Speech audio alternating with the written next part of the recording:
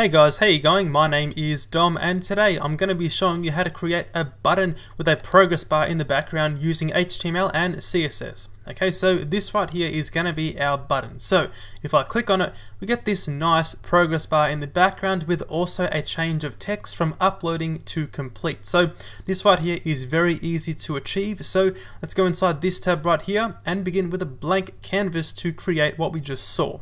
So going inside the text editor, we've got something like this. So the first step is going to be to work on the HTML for this button. So in the HTML, I'm going to be creating a new button element right here with a type of button and a class of once again button.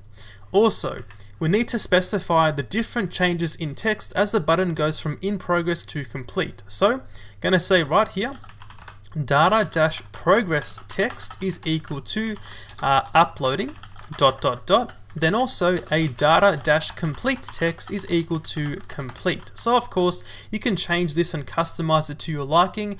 Um, so now uh, also just a quick heads up, we're going to be using JavaScript later on to grab onto these attributes and apply them to the button as it goes through its in progress.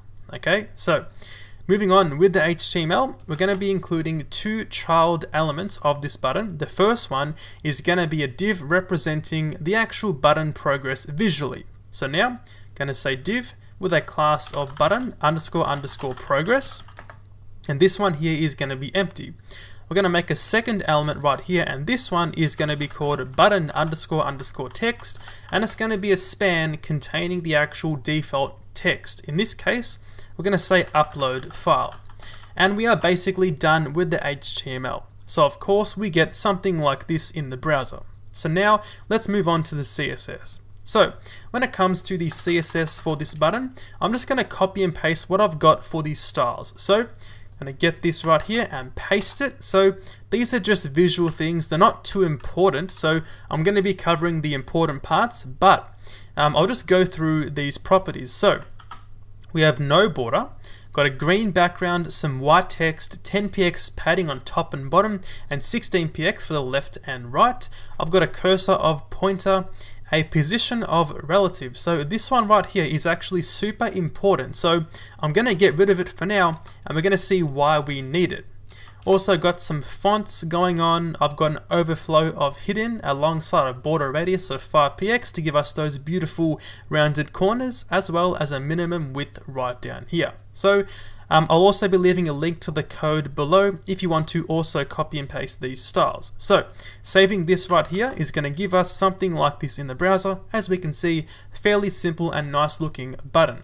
So going back in the in the CSS, let's get to the important stuff. So that is going to be styling up this button progress. So down here, we're going to be targeting the button underscore underscore progress class and we're going to be saying right here first off a position of absolute this allows us to set a height of 100% okay um, a width of, for example, let's just do 50%. So this right here is just for demonstration purposes to see what 50% progress looks like. Okay, I'm going to say also a top of 0 and a left of 0 as well as a background right here of red. So now, saving this and going back in the browser, we can see got this massive red part of the page. So, the reason why this is happening is because our position of absolute and these four properties right here, height, width, top and left, these are all applying relative to the whole document,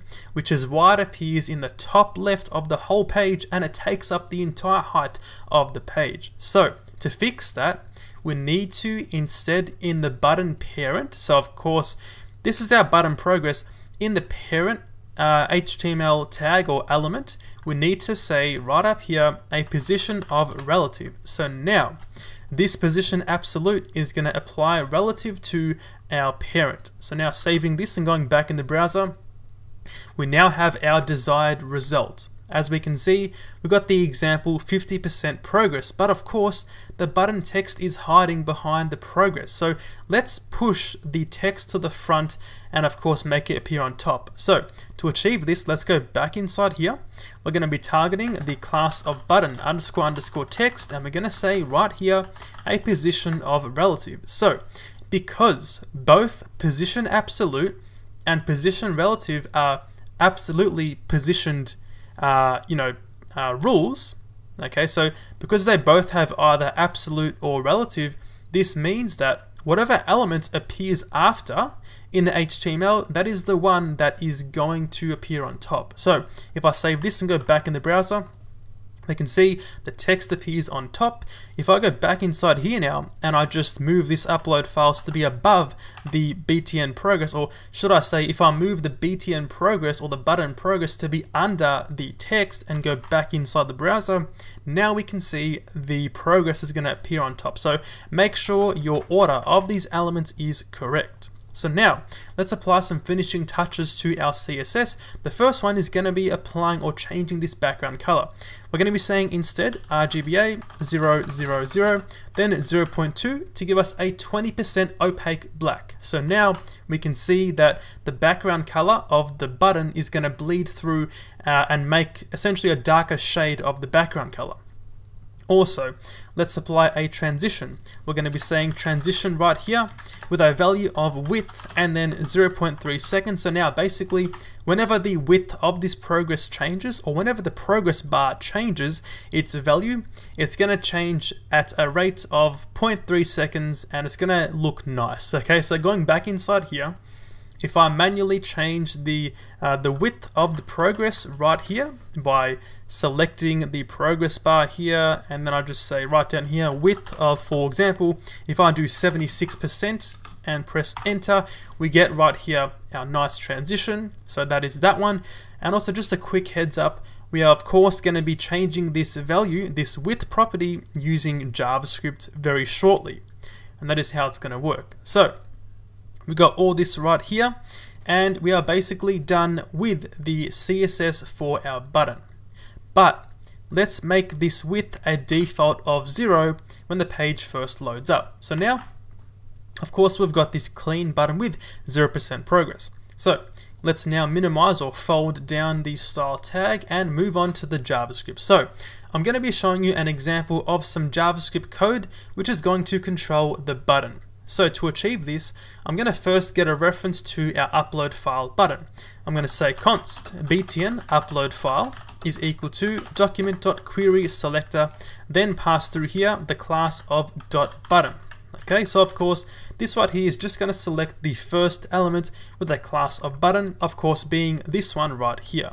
So now, let's write a function which updates our button progress. So, I'm going to say function set button progress. Okay, this right here is going to take through the button. So we're going to say button right here as well as a percent value. So we're going to say percent right here. So inside this function. The first step is going to be to get a reference to uh, the actual uh, text span because of course we need to update the text to either be uploading or complete based on the percent. So let's say right here const text element is equal to button.query selector we're going to say a class of button underscore underscore text. So what this query selector is doing when you're calling it on the button is it's starting from the button right here and it's selecting the first element with a class of btn or button underscore underscore text, of course giving us this one right here. Okay, cool. So the next step here is going to be to simply update the percent of our button. So we're going to say right here, button.query selector, once again, doing the exact same thing this time for the button underscore underscore progress. But since we're only going to be you know, using this uh, this element once, we don't need to uh, store it inside a constant. So Gonna say right here, dot style dot width is equal to, then gonna pass through here using the backticks on my keyboard next to the one. Um, we're gonna say right here, dollar sign curly braces, pass through percent then put a percent sign. So basically, if I was to call this uh, call this function, for example, set button progress, pass through here the btn upload file, then if I pass through percent of, for example, 76, we're gonna get right inside here 76% as our uh, as our width of our button progress element. Okay, so we've got this right here. I might just save this and test it out. So I'm going to comment out this piece of code, go back in the browser, then I'm going to go in the console. I'm going to call the set button progress. I'm going to pass through here the btn upload file. Then I'm going to say, for example, 76. Press enter, and we get that nice 76%, um, you know, uploaded uh, represented right there. Okay, so now let's finish this off by simply uh, changing the text based on the percent that is complete. So once we've assigned the you know width of that you know element right there, go right down here. We're going to be saying if the percent you pass through is more than or equal to zero. So basically, if the task has started, the upload has started, then we can just say uh, text element dot text content is equal to then we're going to say button dot dataset dot progress text okay so we're just setting our you know um, our text content of this span to be whatever we assigned inside our up or sorry inside our data progress text uh, attribute so basically this um, you know this progress dash text is simply converted to camel case right here to say progress, then capital T. So saving this and going back in the browser, we can see if I call the function again, we get our uploading right there. And the same goes for the next one, which is going to be if your percent is more than or equal to 100, you are done. So we're going to say complete text right here. Save this, go back in the browser.